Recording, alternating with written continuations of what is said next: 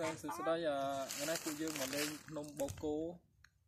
អឺនៅទីនេះយើងមកលេងមានអឺដើមស្រល់អឺជាច្រើនអាធ្វើដូចរីឆាតណាធ្វើអាវាដូចនេះទេសភាពស្អាតអត្ថប្របាយហើយក្នុងនោះយើងអឺវានៅលើភ្នំតែវាស្មើដីស្មើហើយមានផ្កាជាច្រើនអឺផ្កាហ្នឹងចម្លែកខ្ញុំមិនដែលឃើញដែរស្អាតឥឡូវមកមើលទៅចម្លែកដូចបងខ្ញុំដែរ ការហ្នឹងអឺលើកទី1នៅក្នុងជីវិតណាដែលបានឃើញបាទនឹងផ្កាយទេអឺខ្ញុំអត់ដែលឃើញនឹងផ្កាយទេតោះទៅធំជាងបាទខ្ញុំបន្តិចស្អាតបាទផ្កានេះស្អាតណាអឺបើសិនជាយើងយកទៅតាំងអននៅអឺផ្ទះដើមនៅតាមផ្ទះយើងអឺគិតថាល្អតាក់ទាញ